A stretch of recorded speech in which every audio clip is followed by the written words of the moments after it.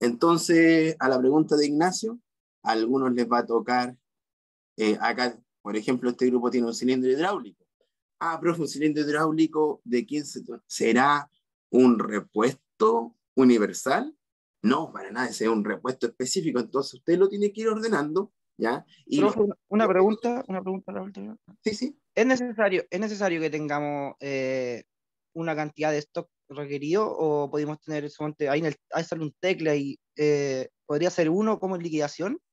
Usted lo ve, eh, y tal como dice usted, tal como dice Fabián, una empresa cree que va a tener 50 teclas, difícil. A lo mejor mejor tengo 50 ORRIN o más. ¿ya? Entonces usted también puede decir cuánto de cada uno de estos elementos hay en bodega. ¿ya? Ustedes aquí, ustedes se ponen a pensar qué bodegas están eh, trabajando solamente que yo le entrego los eh, elementos que están en la bodega. y cualquier consultita, obviamente. Me, me lo hacen saber. Eh, por un correo o como nos vamos a volver a juntar el próximo, el próximo, el próximo jueves. Nos vamos a volver a presentar el próximo jueves,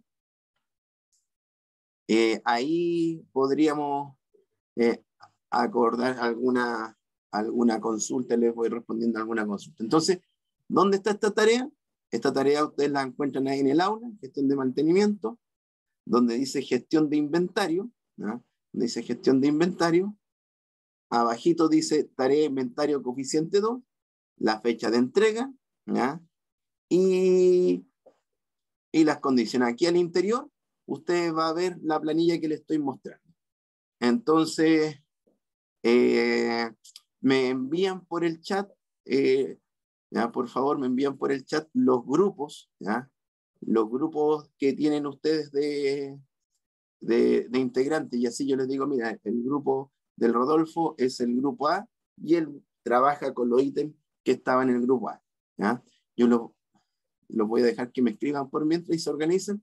Voy a detener esta parte para que ustedes me puedan indicar en el chat quiénes son. ¿ya? la idea es que si lo necesitan, me lo piden. Ya, muchachos. Eh, siendo las nueve, siendo las nueve, vamos a ver la última temática ya de esta asignatura. ¿ya? La última temática de esta asignatura. Y aquí ya nos perfilamos para, para dar el cierre, ya el cierre y, y, y prepararnos para el certamen, para el certamen 2. Eh, esto tiene que ver con las políticas de... Voy a cerrar un poco. En el pasillo pasa mucha gente y se escucha el, sonido. Esto tiene que ver con las políticas de mantenimiento que van a existir en las diferentes empresas, independiente, independiente el tipo de empresa. Usted va a poder estar trabajando en una empresa minera, en una empresa de producción, en un servicio técnico. Y lo que tenemos que tener claro es que hay unas políticas que se han ido eh, puliendo a través de las décadas.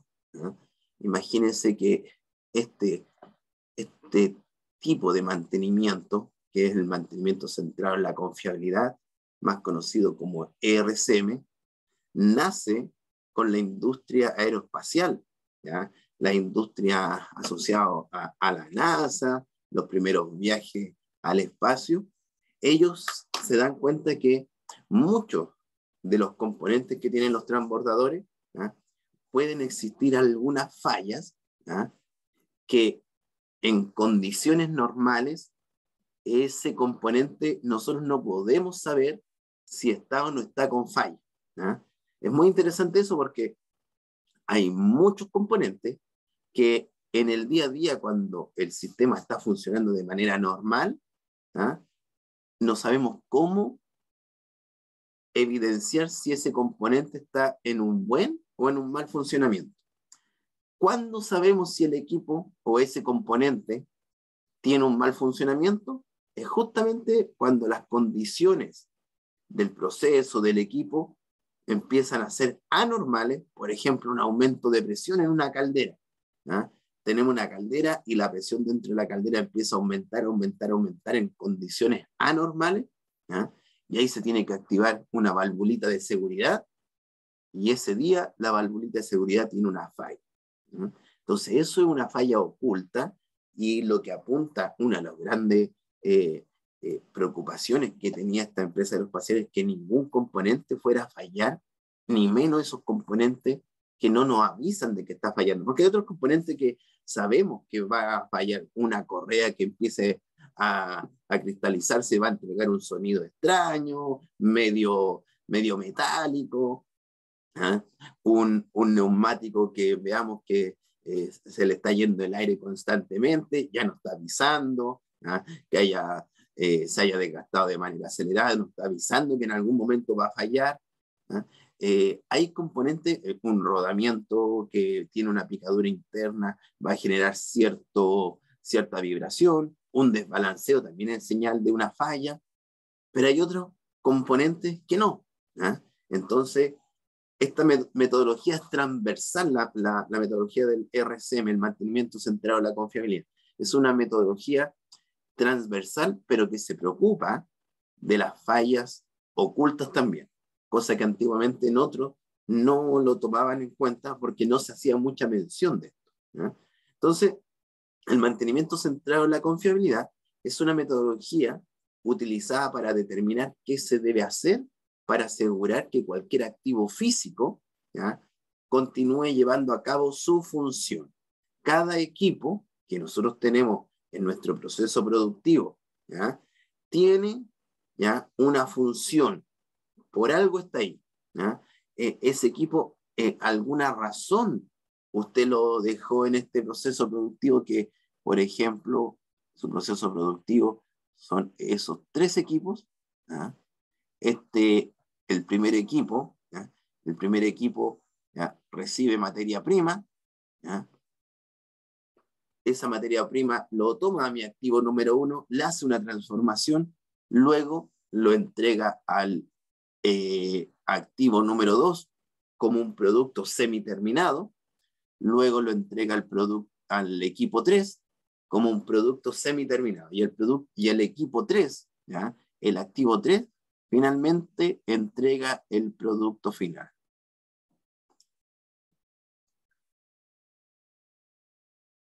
¿Ok? Entonces tengo materia prima, pasa por el equipo 1, pasa por el equipo 2, por el equipo 3 y sale un producto. Eh, de aquí, del 1 al 2, se entrega un producto semi-terminado. Entonces, nosotros vemos por qué, empezamos a analizar por qué el equipo 2 está aquí. ¿Qué es lo que hace? Bueno, el equipo 2 ¿ya? toma este producto semi-terminado que puede ser concentrado de cobre, mineral, eh, una carrocería, ¿ya? Puede ser el blog, estamos armando un motor, por ejemplo, y él recibe el, el blog y le hace el tratamiento ¿ya? de rectificado. ¿ya? Lo que fuese, el equipo que fuese, ¿ya? él está ahí para generar un trabajo. Y ese trabajo tiene ciertas condiciones. O sea, yo quiero que reciba este material, este producto semiterminado, ¿ya? y le agregue cinco perforaciones, le haga cinco perforaciones, o que lo rectifique. Eh, de tal manera, con tal acabado, en tantos minutos, porque yo tengo que tener también asociado de que esto tiene que hacerse en un tiempo establecido, porque en mi proceso, mientras yo genere más, obviamente soy más eficiente. Entonces, la función tiene que ver con eso, con qué hace este equipo y cómo lo tiene que hacer para que digamos que el equipo está desarrollándolo de buena manera. Porque a lo mejor, imagínense que se fuera una bomba eh, centrífuga, ¿ah? fuera una bomba centrífuga, y la bomba centrífuga tiene una capacidad de 200 litros por minuto. ¿ah? ¿De qué? De un fluido. La función es esa, bombear del estanque A al estanque B, un líquido a 200 litros por minuto. Esa es su función. Pero podríamos tener una falla. Y uno, cuando escucha falla, yo creo que todos, todos, lo primero que se viene es que usted dice, ah, el equipo se detuvo. O sea, la capacidad fue igual a cero. Correcto, esa es una falla. Y el mantenimiento centrado en la confiabilidad, a esa le llama una falla total. Pero también dice, ojo, hay otros tipos de falla que hace que tu equipo siga funcionando, pero no a la capacidad que tú lo diseñaste o que tú lo compraste. Entonces, ¿por qué tú a esto que está bajando su capacidad de 200 a 120 litros por minuto, tú no le llamas falla? ¿ya? Aquí el RCM dice, no, no, aquí usted tiene una falla, solamente que le vamos a llamar una falla parcial. Una falla parcial. Significa que el equipo sigue funcionando, pero no a las condiciones que nosotros deseamos, no a las condiciones que nuestro cliente desea, no a las condiciones que el usuario desea. El usuario desea que esta bomba funcione a 200 litros por minuto. Pero esto no es mágico, no bajó por, a 120 por algo mágico, sino que la bomba en su momento dio algún aviso. Empezó a aumentar la vibración, ya empezaba a, a, ver alguna vibración que los mismos operadores se dieron cuenta, un ruido extraño. En otro equipo alguien escuchó un, un sonido medio metálico, un chirrido. Y esos son señales que te dicen, ojo, ojo acá, que el, el, el sistema está pronto a fallar. Entonces, el RCM, el RCM o mantenimiento centrado en la confiabilidad, se fundamenta, se fundamenta en el siguiente cuadro. Así nosotros tendríamos que organizar un RCM. Primero, juntamos el equipo de trabajo, los miembros, tal como hicimos la lluvia de ideas, exactamente lo mismo. La gestión del mantenimiento no es un trabajo individual, no es un trabajo individual, es un trabajo grupal. Se hacen actividades grupales. Luego, como yo tengo tantos equipos en mi proceso productivo, tengo 20 equipos, tengo que elegir uno de ellos. ¿Con cuál voy a dar inicio? No puedo iniciar con cualquiera. Voy a tratar de que el equipo que vaya a elegir sea un equipo que tenga un alto impacto en el proceso. O sea, yo puedo eh, seleccionar el equipo que falla, eh, el que más falla, y por ende me detiene todo el proceso constantemente. Bueno, ese es un equipo que tiene una alta frecuencia y además tiene una alta consecuencia. Cuando hablamos de esta jerarquización, lo que tratamos de buscar, ¿cuál es el equipo crítico que me lleva una alta frecuencia de falla y una alta consecuencia de falla? La consecuencia de falla mírelo desde el punto de vista cómo ese equipo cuando falla me impacta mi negocio, me impacta mi proceso productivo. Profe, si ese equipo falla, le detiene el 100% del proceso productivo. Es más, le detiene la planta. Ah, ya, entonces tiene una, una consecuencia altísima. Profe, ese equipo cuando puede, cuando está operando, cuando falla, me puede electrocutar a un viejito. Ah, entonces su consecuencia es muy alta. Profe, ese equipo en caso de generar alguna falla, normalmente se derrama el aceite y me deja un problema de, medio ambiente tremendo. Entonces, también es un equipo que tenemos que prestarle más atención, ¿ya? Porque es un equipo que me genera alta consecuencia. Alguien me podría decir, profe, ese equipo tiene una consecuencia súper alta, pero su frecuencia de falla es muy bajita. ¿ya? Eh, no lo vamos a dejar ese equipo como un equipo de los primeros en el listado de criticidad, pero va a quedar dentro de los top de Five, ¿ah? porque su consecuencia es demasiado alta para ignorarla. ¿ah? Solamente que falla poco, sí, hemos hecho mucho trabajo ¿ya? para que esa frecuencia de falla vaya bajando.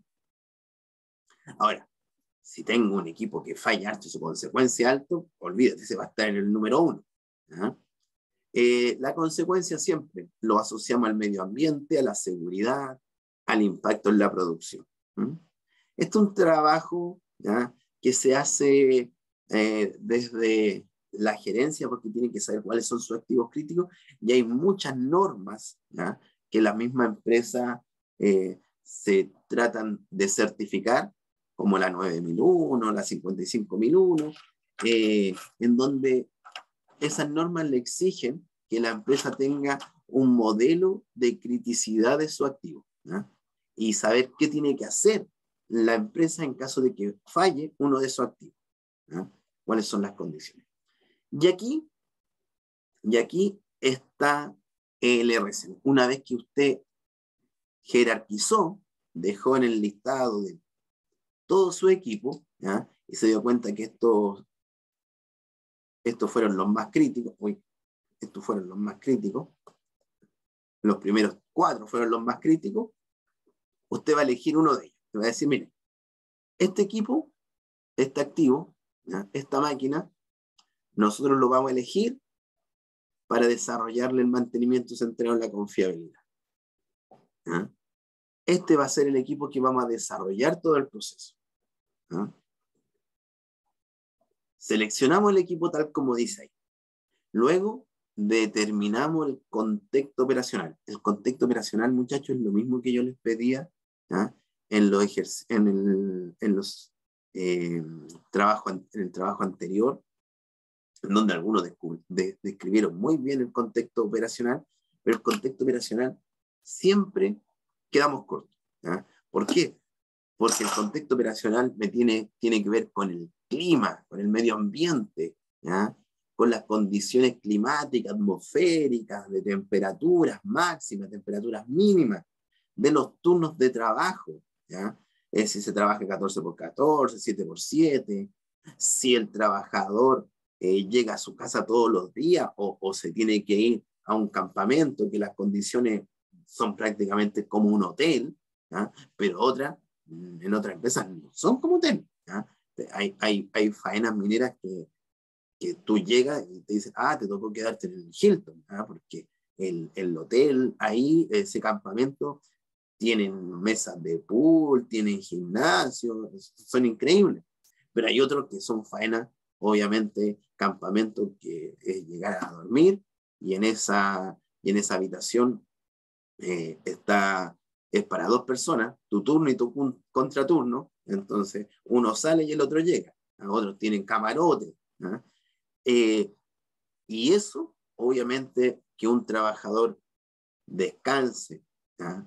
de buena manera, significa que al otro día va a tener toda la energía para trabajar de buena manera también. Ahora, si ese trabajador no descansa porque tiene un, un baño compartido para, por 10 viejitos, entonces él llegó con sueño y quiere dormir, pero tiene que hacer la fila para eh, ir a hacer sus necesidades antes de ir a acostarse y tiene que esperar a los otros 10, ahí fácilmente va a estar esperando una hora una molestia, una desmotivación, que sí, aunque usted no lo crea, sí afecta eh, que un equipo tenga más falla que otro. Yo puedo tener el mismo equipo, puedo tener el mismo equipo en, en una faena A y en una faena B, pero en la faena A me genera menos falla. Y uno dice, ¿por qué si los mismos equipos se compraron el mismo año, en la misma marca, el mismo modelo, eh, lo trajeron el mismo día, lo echaron a andar al mismo tiempo? Ojo, ve tu contexto operacional. Mira acá estos viejitos donde descansan. Mira estos de acá donde descansan. Estos viejos están en un hotel de cinco estrellas. Esto con suerte le alcanza dos estrellas ese, esa pieza del campamento.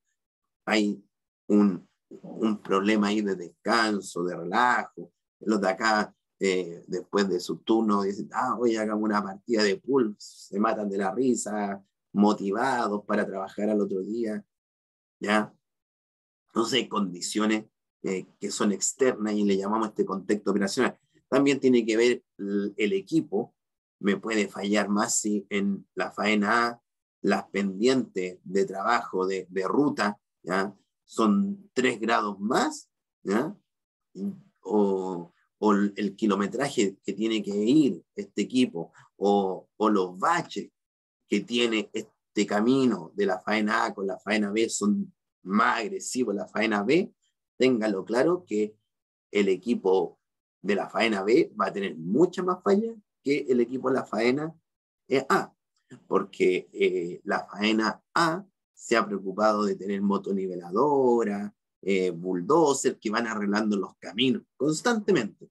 Le echan un fito eh, estabilizador a la ruta para que la ruta no haya bache, que quede prácticamente como una especie de, de pavimento. ¿ah? En cambio acá, con suerte, tienen un, un, un pequeño eh, bulldozer chiquitito, ¿ah? uno de esos que le llaman los patos, que de una vez al mes pasa por, por las rutas para tratar de sacar una que otra roca que está molestando ahí, pero eh, no es lo mismo, no es lo mismo.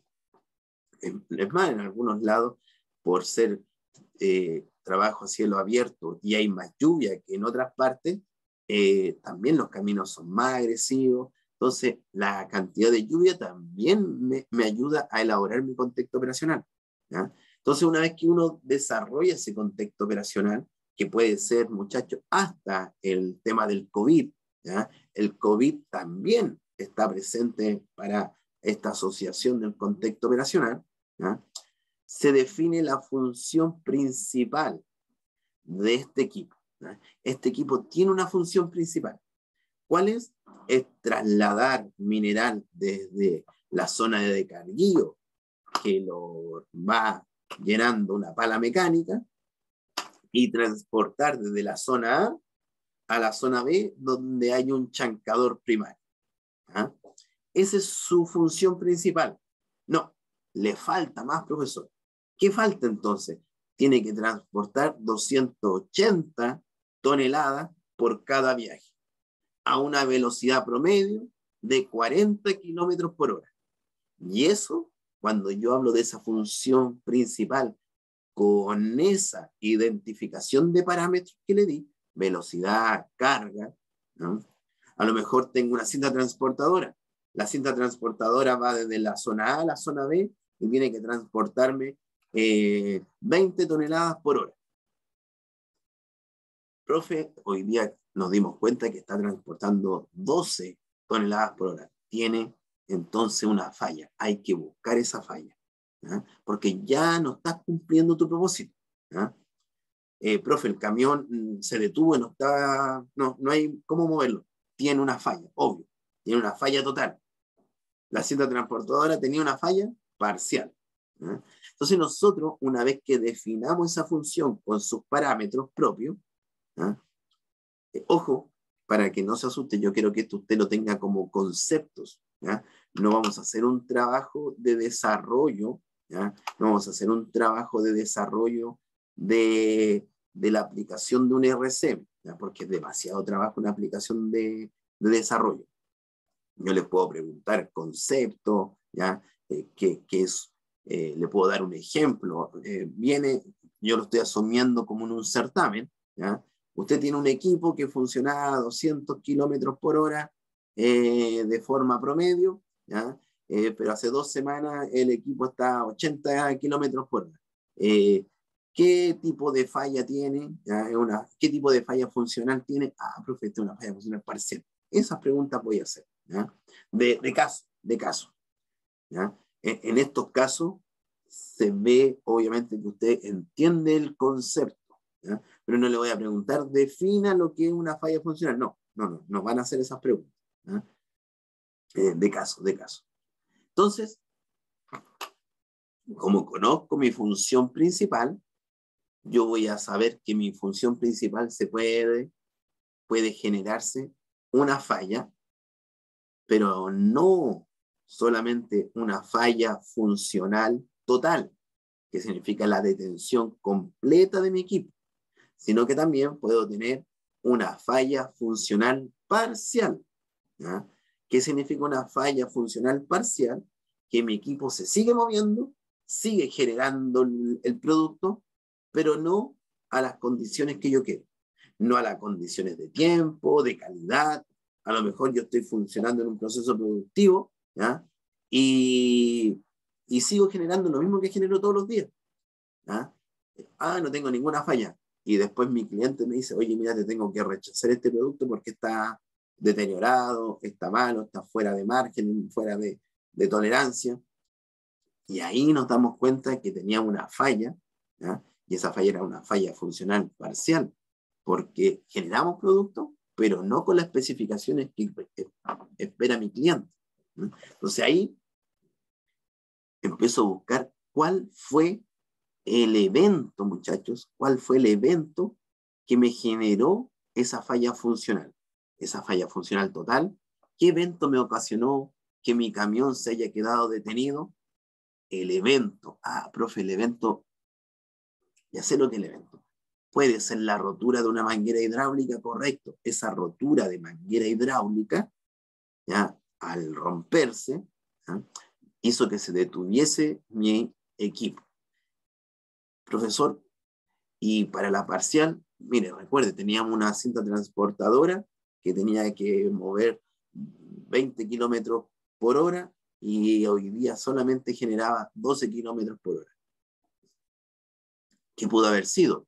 Y empezamos a ver, ah, mira, hay un trabamiento en los rodamientos, en los rodamientos del de, el motor motriz que hace que esta cinta transportadora gire, o algún trabamiento en algunos eh, polines.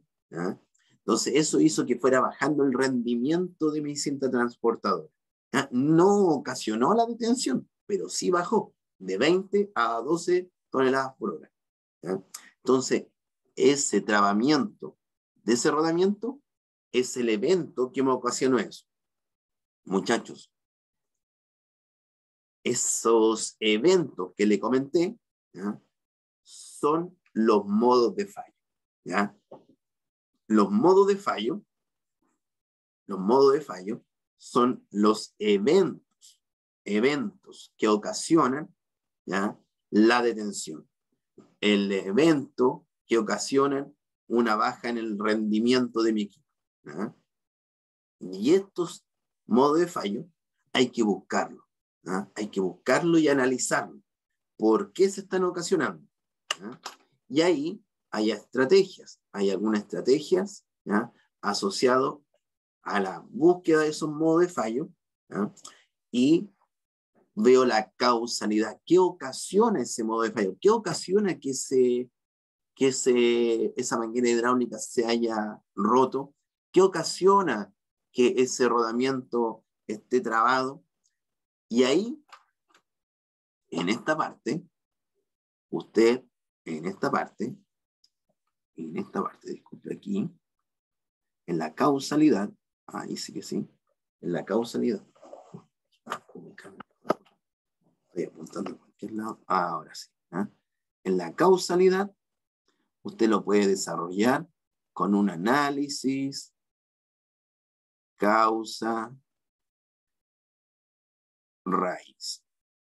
Lo mismo que generó en esa tarea, el mismo procedimiento, para saber bien que ese modo de fallo, qué es lo que lo está ocasionando. La falta de una marca eh, más prestigiosa y por lo mismo estamos usando elementos eh, o estamos usando mangueras alternativas y por lo mismo no me duran nada. O eh, los viejitos cuando hacen la instalación no tienen las competencias para desarrollar bien esa, esa actividad, independiente una u otra, voy a poder solucionar los detalles, de mejorar la herramienta, de mejorar la capacitación, etc. Todo lo que ustedes hicieron en el Ichikawa, por ejemplo, o, o, en la lluvia de ideas. Esto también se puede resolver con los cinco por qué. Pero lo importante es que ya sabemos el evento que ocasionó la detención de mi equipo o la baja de rendimiento rotura de manguera, fracturas de algún eje, eh, desgaste de algún sello, ¿ya? Eh, etcétera. Eso son nuestros modos de fallo. Una mala lubricación. Luego, determinamos los efectos y la consecuencia de ese modo de fallo. La consecuencia ya tiene que ver con el dinero, con el costo, lo que me saldría que ese equipo falla. Lo que me sale en caso de que ese modo de fallo que estoy pensando en analizarlo, en, ver qué podría ser, ¿cuánto me costaría en caso de que se dé ese modo de fallo? Porque aquí, muchachos, nosotros vamos a generar una lluvia de ideas de los diferentes modos de fallos que se pueden dar. ¿ya? Profe, esto puede fallar por esto, por esto, por esto, por esto, por esto. Cinco formas. Ya, el primero, mm, si es que falla eso, me va a detener el equipo fácilmente por tres horas, profe. Ah, ya. Hay que entonces hay un alto costo. ¿Qué pasa si esto? No, profesor, es, cambiar una plaquita y listo. Ah, ya no es tan costoso. Este, la tercera. No, profe, ahí ya necesitamos una empresa externa que venga. Ah, ya, es súper costoso. Esta, mire, eh, el costo es que podría dañar la seguridad de un trabajador, podría lesionar a un trabajador. Ah, es súper costoso. Y esa, eh, la última, no, eso nos podría generar una multa por el medio ambiente, profe, porque aquí el aceite ya, ah, perfecto. Entonces también es costoso. Todo lo que sea consecuencia, llévelo siempre a analizarlo asociado a los costos. En cambio, lo que son los efectos es cómo ese modo de fallo me avisa, me avisa de que está en proceso de generarse. ¿A qué hago eso? Referencia. El efecto es el síntoma. El efecto es que si ese modo de fallo es evidente al operador. Hay modo de fallo que el operador nunca se va a dar cuenta hasta que el equipo se detuvo completamente porque no escuchaba, no estaban las condiciones, no habían alarma, no habían sensores. En cambio, hay otros modos de fallo que las empresas fabricantes se han dedicado a poner sensores para ver si eso falla, da la alerta. Por lo mismo, cuando uno se sube a un automóvil, y para qué decirlo en un camión de alto tonelaje, uno se sube en, los nuevos camiones de alto tonelaje y el, el, camión te habla de partida, te indica toda su información de, de, de operación, las temperaturas, de aceite, de refrigerante. Él te dice, mira, estas son mis condiciones, ¿ya?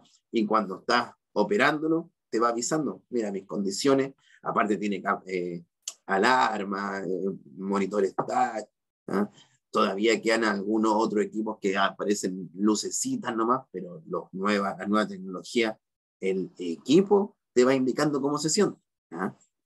A ese nivel ¿ya? De, de, de detectar esos modos de fallo. Ese trabajo de ir desarrollando esa información y esa alarma se ha hecho mediante el análisis de los modos de fallos que han tenido las antiguas generaciones, las antiguas versiones de su equipo. Ha sido un aprendizaje constante. ¿ah? Entonces, año a año se va aprendiendo de lo que le ocurría ¿ah? al equipo de la antigua generación. Mira, esto fallaba acá, entonces la, la próxima nosotros vamos a poner un sensor que nos dé esa alerta. ¿ah? Por eso hoy en día los equipos son altamente eh, electrónicos y con muchos sensores. El efecto de un modo de fallo, el efecto de un modo de fallo, piénselo como el síntoma.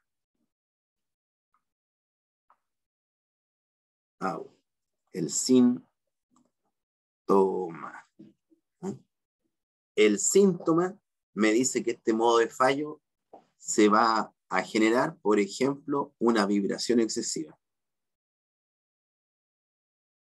La vibración, muchachos, es un efecto de un modo de fallo. La, la aumento, aumento de temperatura. Eso es un síntoma de que hay un modo de fallo. Se viene el modo de fallo, ya se está activando. Y cuando se activa ese modo de fallo, va a generar una falla funcional total o una falla funcional parcial. logrando que no se cumpla la función que usted desea de su equipo. Entonces, hoy en día, cuando las empresas implementan el RCM, empiezan a decir, mira, vamos a buscar síntomas. Y cuando busque un síntoma, yo voy a ir a buscar la reparación de ese modo de fallo, ¿ya? Para tener cautelado que ese modo de fallo no se me vaya a activar. Nosotros no queremos que se active ese modo de fallo. El RCM tiene una hojita que me dice, mira, por cada modo de fallo, vamos haciendo ciertas preguntas y yo te digo qué tipo de tarea de mantenimiento tú podrías generar. Es como una pauta, una pauta que uno dice, mira, tengo este modo de fallo y, tú, y te hace una pregunta. Oye, ese modo de fallo, si se da, eh, ¿es evidente al operador? Y uno dice, mm, eh, sí, porque ahora en esta nueva versión hay una alarma. Ah, ya, entonces es evidente. Entonces hacemos otra pregunta de seguridad. Después otra pregunta de, eh, de medio ambiente y otra pregunta de operación. Pero cada una de ellas me dice, mira, entonces te recomiendo este tipo de tarea. Una tarea de mantenimiento bajo condición. O sabes qué, eh, mejor hace una tarea de sustitución. Sustituye ese componente. Es lo más, es lo más efectivo y factible es que tú sustituyas ese componente. ¿ah? Eh, ¿Qué más puede ser? El, te puede decir, mira, ¿sabes qué? Aquí lo único que tú necesitas es hacer un rediseño de tu equipo. ¿ah? También te puede decir, mira, aquí es preferible que el componente falle. Y cuando falla, tú lo cambias, pero tú tienes, pero, eh, tienes todo el procedimiento para cambiar, para que no te demores más del tiempo que deberías demorarse. Y eso se le llama ningún mantenimiento programado. Muchachos, el RCM también te dice, oye, trabaja la falla, no, no te preocupes, trabaja la falla, eso no es malo. Pero eh, después de que haces el análisis, de que ese modo de fallo, cuando se produce, no vaya a lesionar a nadie, no vaya a contaminar, no me vaya a detener todo el proceso, porque hay componentes que fallan y no tengo por qué correr, hay que reparar, no, démonos, démonos un tiempo, eh, deja que, el equipo termine de hacer su recorrido y ahora tíralo para el ladito y lo reparamos rápidamente. Eh, hay que tener esa inteligencia porque algunos ven falla, ¿no? Y hay que, o, algunos piensan, no, puro mantenimiento eh, predictivo en donde vamos a tener que estar constantemente monitoreando todo. No, hay elementos que no tenemos la necesidad de monitorear. Eh, imagínense que tengamos que estar monitoreando el filtro de un automóvil. El, el costo de un automóvil se lo iría a las nubes. Mm, si sabemos que el filtro dura más o menos ya 10.000 kilómetros o, o 15.000 kilómetros, cambia uno cada 10.000 kilómetros. No, profe, acá el filtro dura 5.000 horas. Bueno, a las 5.000 horas será, pero vamos a poner sensores para que me diga, no, no va a valer la pena. Obviamente, depende de la envergadura también. Si, si yo estoy hablando de un cambio de aceite, de un motor, porque el cambio de aceite también es una actividad de sustitución. Si voy a hablar del cambio de aceite del motor, que son 7 litros, a todo reventar en, en, una máquina más grande, en un equipo, en un automóvil un poco más grande, en un camión de alto tonelaje, mm, estoy hablando de, de 30, 100 veces, eh, 7, sí, fácilmente, ¿ya? Eh, 100 veces la cantidad de, de, aceite, más de alguna ocasión en algunos componentes, ¿ya? en algunos sistemas. ¿ya? Entonces, eh, ahí no me conviene quizás decir, no, a, lo, a, la, a, las 100 horas voy a las, no sé, a ver, a las 500 horas, las 500 horas voy a hacer cambio de aceite. No, prefiero ir monitoreando el aceite y ahí hago una tarea de condición.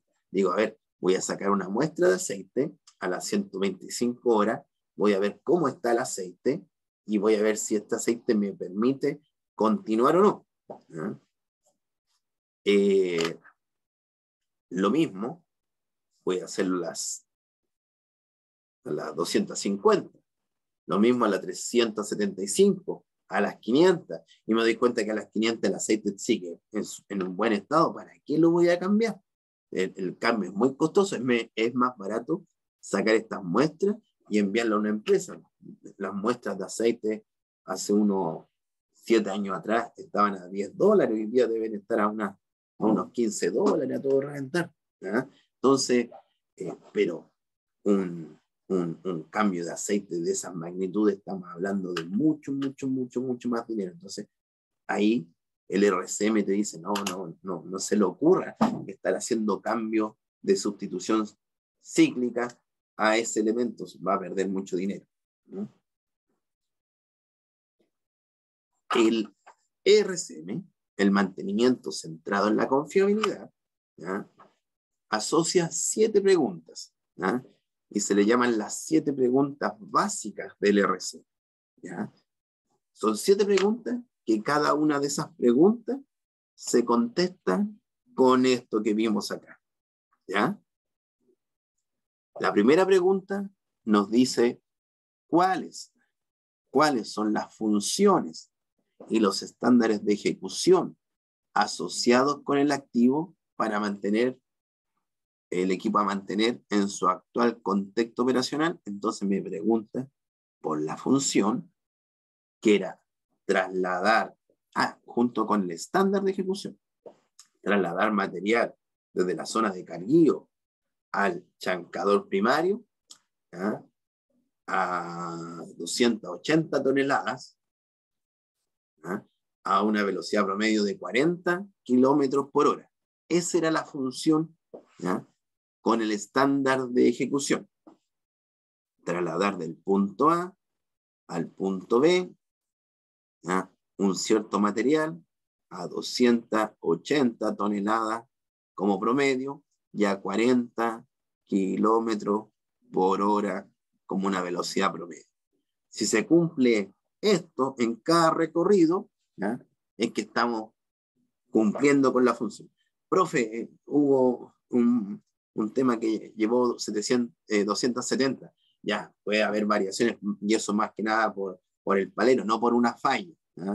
Porque eh, si digo 280, eh, uno siempre le pone más menos en lo que el usuario quiere. Dice, no, mira, yo también me puedo pasar a 285. ¿ya? Ahora, si me paso a 300, ojo, eso no estoy cumpliendo con mi función porque eso me va a traer en algún momento una falla. Entonces, yo también hago mi resguardo ahí, no lo puedo sobrecargar. La segunda pregunta dice, ¿en qué forma fallará el equipo con respecto a la función que cumple en el contexto operacional? Y esto en la falla funcional. Y ahí teníamos dos formas de falla funcional, la total y la parcial. Puede tener una falla total o una falla parcial. Usted ya sabe, si el equipo se detuvo completamente, total, a el equipo profe algo le pasó y pudo andar solamente a 25 kilómetros por hora, ¿ya? una falla parcial. Eh, ¿Qué causa cada falla funcional? ¿Cuál es la causa? Yo les dije, ese evento, el evento el evento es la causa. Y por lo mismo, el evento nosotros le llamamos el modo de falla. El modo de falla. ¿Qué ocurre cuando sucede una falla? ¿Qué es lo que ocurre? Ah, profe, ese es el efecto, o como dijo usted, el síntoma. ¿Ah? cómo detectar qué ocurre cuando sucede ese, ese modo de fallo. Ah, empezó a vibrar. Eso es lo que ocurre cuando sucede esa falla. ¿ah?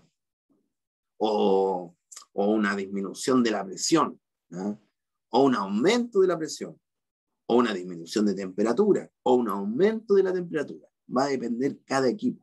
Cada equipo va a avisar, y según cada equipo al que estemos haciendo referencia el impacto, cómo impacta cada falla. Y aquí tengo la consecuencia o como les dije, ese impacto económico en, en el negocio, por seguridad, por medio ambiente, por operación. Y las últimas dos es algo que no hemos visto, pero se los dije en algún instante, que es esa, esa planilla en donde nos vamos a hacer preguntas, donde el RCM nos dice, mira, hágase estas preguntas, y ese se le llama la hoja de decisión. Entonces, me dice, ¿qué puede hacerse para prevenir cada falla funcional? Ahí nosotros generamos una acción proactiva, como sustitución cíclica, reacondicionamiento, eh, una tarea de condición en donde yo busque alguna condición, en donde busque un aumento de temperatura, una vibración extraña, pero cuando no puedo prevenirlo, ¿ya? cuando no puedo prevenir esa falla, ¿qué puede hacerse si no se conoce una tarea de prevención adecuada? Bueno, voy a tener que hacer un rediseño o hago una búsqueda de falla o finalmente lo que podría hacer es que falle el equipo, el componente, y lo reparo una vez que falló. No me trae mucha consecuencia ese modo de fallo, así que me permite dejar que falle. ¿ah?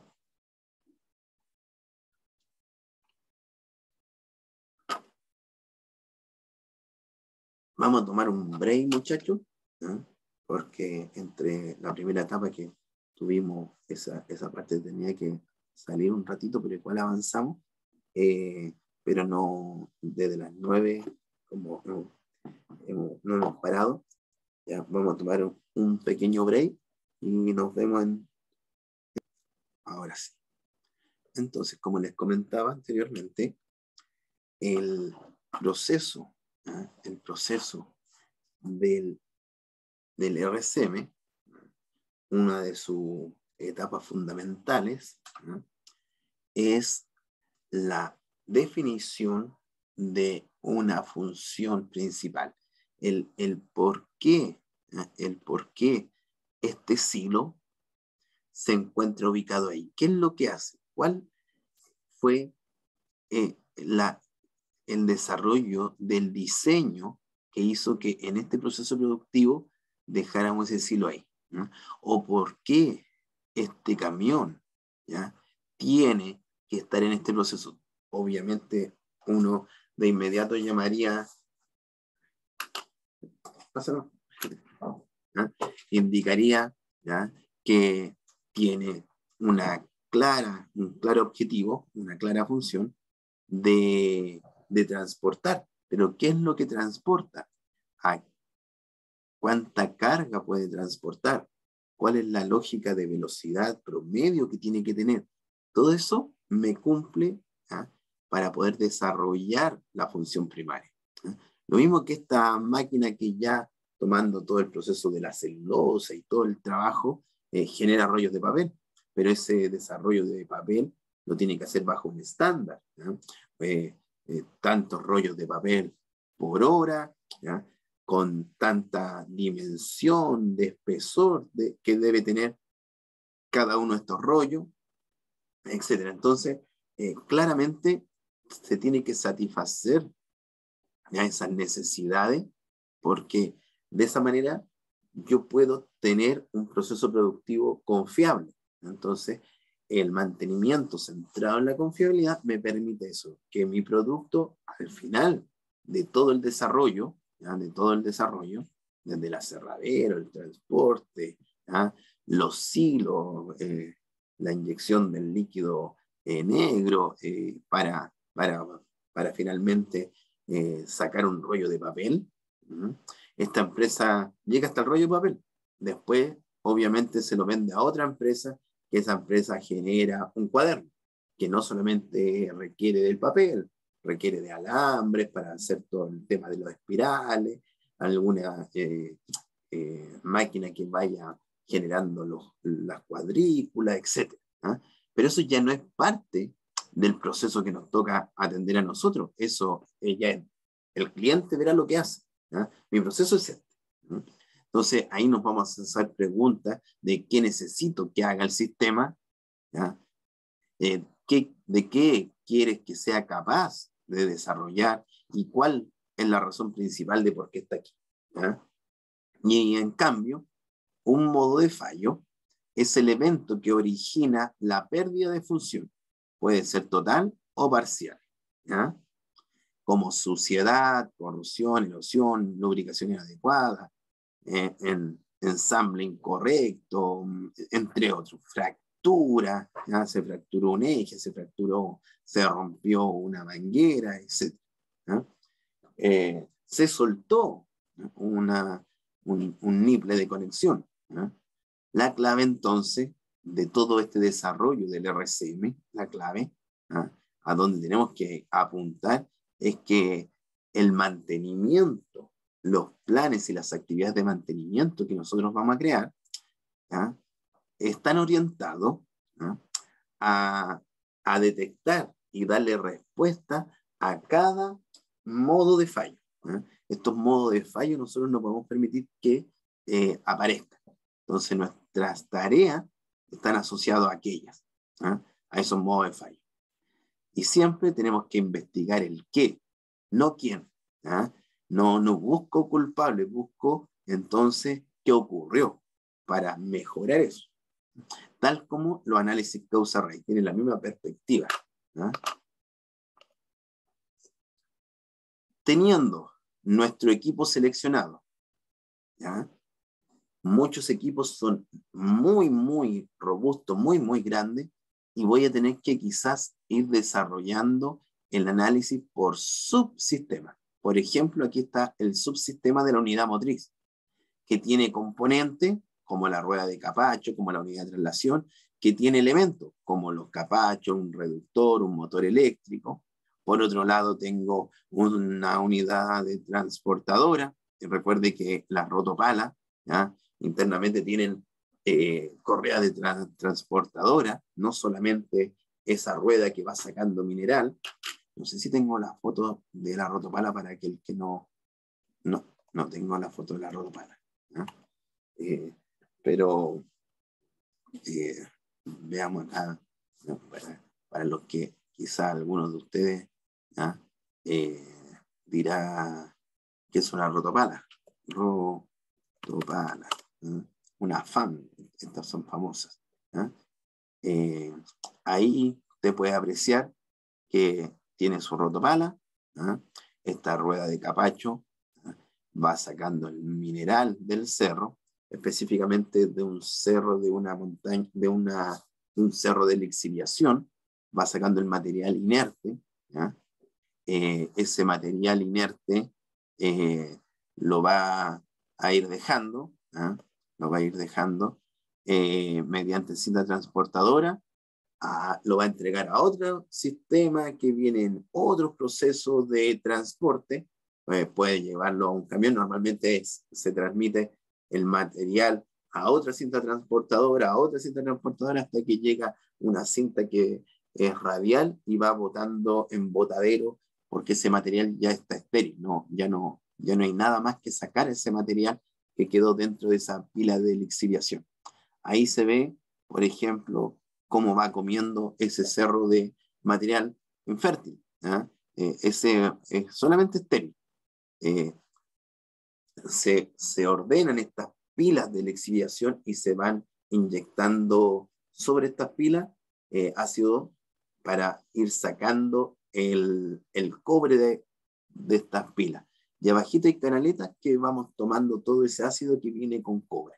Después hacemos un tratamiento de esto, los vamos separando y después llegan a esta colmena donde salen los cátodos de cobre. Ahí está trabajando full ¿ya? Esta, esta rotopala. Y una de las rotopalas más grandes del mundo está en Codelco, por si acaso. ¿ya? en, en Choquicamata, si mal no recuerdo. Una de las divisiones ahí. Entonces, como es un equipo tan grande, pensar en hacer de inmediato de todo el equipo también es complejo. Y como un equipo tan grande, nos vamos a dar cuenta que no tiene solamente una función principal, sino que puede tener más de una función principal.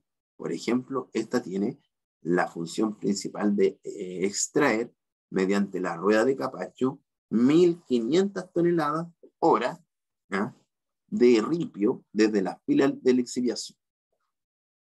Mantener una velocidad constante de 3.2 metros por segundo. ¿ya? Las correas transportadoras de la pluma de carga y de descarga. ¿Mm? Hay dos cintas transportadoras al interior. Girar la rueda, girar la rueda de capacho a una velocidad de 9.6 revoluciones por minuto. Eh, trabajar con una potencia hidráulica del sistema de 110 kilowatts. Entonces, eh, cada una de esas propuestas que nosotros vamos a entregar como función principal, las vamos a ir analizando. Vamos a ir analizando, por ejemplo, el componente, esta rueda de capacho, con su función. Pero también podríamos desarrollar no solamente el componente, sino que el equipo. Si, si, si mi equipo es más pequeño, yo no hago todo este esta, eh, trabajo de, de, ir haciendo un despiece o una fragmentación del equipo, sino que lo trabajo con un todo, pero ya cuando son equipos más grandes, ¿ya? es mejor ir trabajando por, por sistema, por subsistema. Entonces, una vez que tengamos ya cada uno de estos componentes claritos, buscamos la función del componente, vemos los diferentes fallos funcionales totales, y por cada falla funcional total, yo podría tener más de un modo de fallo. Por ejemplo, si analizamos eh, mantener, eh, girar la rueda de capacho a una velocidad de 6.9 revoluciones por minuto, yo podría tener que la rueda de capacho no gira y podría haber sido por, un, por una rotura de los dientes que tiene el motorreductor. Ahí tengo mi primer modo de fallo. Eh, puedo tener un segundo modo de fallo asociado a la rotura de un eje. Puedo tener un, un cortocircuito en los motores y eso me genera de inmediato el no funcionamiento de la rotopala. Por otro lado, o sea, la rotopala se va a poder mover, pero no va a poder mover su rueda de capacho porque aquí yo estoy analizando los componentes. Pero no me sirve, si igual va a ser una falla total porque eh, ¿qué saco con que se mueva la pala si no me genera el, sacar el, mineral? Por, por otro lado, tengo una falla funcional parcial, que ahí podría ser un desgaste.